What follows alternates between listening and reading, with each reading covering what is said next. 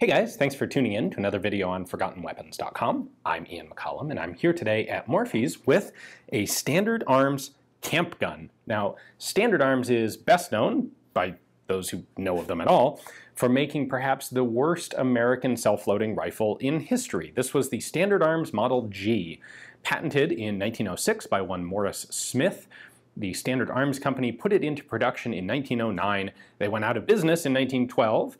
Their creditors brought them back into business in 1913, and then they went out of business again in 1914, having manufactured a, an allegedly self-loading rifle that could also operate in pump action mode if it didn't break, which it did all the time. So uh, I have a couple videos on standard arms guns, one on the Model G semi-auto and one on the Model M pump action only that was basically introduced in a desperate attempt to create some sort of functional gun out of the parts that they'd already made.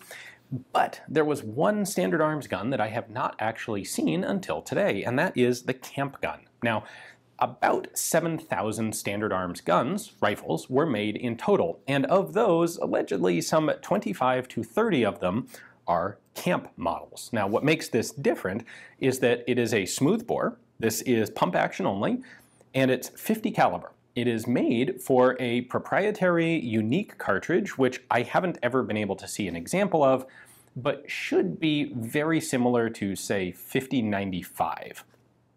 Um, it was designed, uh, in fact it's funny, it was advertised by Standard Arms as a combination rifle and shotgun, which is a little tricky. It is actually a smoothbore barrel, so we can't technically actually identify it as a rifle of any sort because, well, it's not rifled. Uh, however, it was capable of firing either single ball ammunition or shot loads, and the thing that that reminds me of the most are the Indian uh, Ishapore 410 conversions of uh, SMLE rifles, which were converted for essentially riot use and prison guard use, where they took a 303 cartridge, essentially left it straight wall, so it was very similar to a 410 shell in size, and loaded it with a single round lead ball. That's the sort of single ball cartridge that the Standard Arms camp gun was intended to use, either that or shot. Think of this in practice like shot and slugs in a shotgun. So uh, let me show you a little bit of detail of what we have here of how the camp gun actually works and how it's different from the Standard Arms rifles. None of the Standard Arms guns have all that much on them in the way of markings. Uh, just a flat-sided, really quite nicely finished receiver.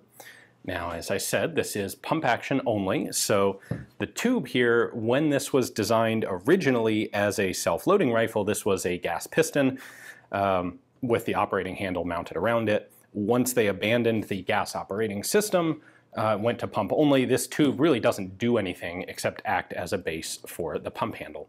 We have a release lever right there, so that's what allows you to actually cycle it all the way in the forward position, it locks in place. Um, just go out here to the end for a moment. We have a simple bead front sight as befits a shotgun and no rear sight. You just kind of have a bit of a, a sort of U-shaped depression there in the front of the receiver uh, and you put the, the bead on that. The magazine does open from the bottom, but this one's stuck and I can't get it open and I don't want to accidentally mar the finish, so I'm going to leave that closed because this is a really nice condition gun. Uh, this was designed to hold two in the magazine and one in the chamber, at least with this shot cartridge. And one of the interesting things about Standard Arms is they put some real time and effort into some very fancy furniture accoutrements on the guns. Uh, originally, they had a cast, I think it's bronze, butt plate, which we see here, as well as a cast bronze operating handle. And by the time they got to the camp guns, it appears they'd given up on the, the bronze handle, or they just deliberately gave it a wood handle to reduce the cost a bit. But we have that really nice, fancy bronze butt plate on this. For markings, we have a serial number here on the lower tang, 2550. Uh, about 5,000 of these were manufactured before the company went out of business the first time, so that places this probably somewhere around 1910, maybe 1911 production.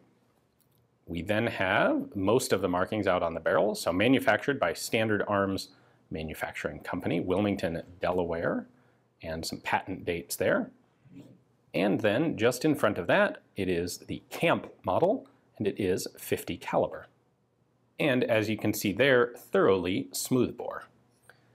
The camp uses a tilting bolt locking system, so as I start to pull the charging handle, the pump handle back, you can see, I'll push it forward, you can see the back of the bolt here tilting up and down. There you go, tilts down to unlock and then cycles open. There is our magazine follower chamber. Um, you can disassemble these. We have an upper and a lower assembly here. If you're interested in seeing disassembly, I would suggest uh, take a look at my previous video on the Standard Arms rifles. Takedown is exactly the same on them, and I've already done it there, so I'm not going to risk perhaps scratching a nice condition gun like this one. These are extremely rare guns. Uh, their rarity is perhaps only matched by the rarity of people who are particularly interested in them. This is absolute. This is like the definition of the forgotten weapons company. Uh, Standard Arms showed up, made a product that was a dismal commercial failure, but still ambitious and interesting, uh, and then faded away right before World War I, leaving their competitors, primarily Winchester uh, and Remington, having produced self-loading uh, hunting rifles in the U.S uh, before World War I very successfully. Standard Arms is the third guy who didn't work so well. Anyway, hopefully you guys enjoyed the chance to take a look at the extremely rare version. Uh, this one is in gorgeous condition, and uh, well, hopefully you enjoyed the video. Thanks for watching.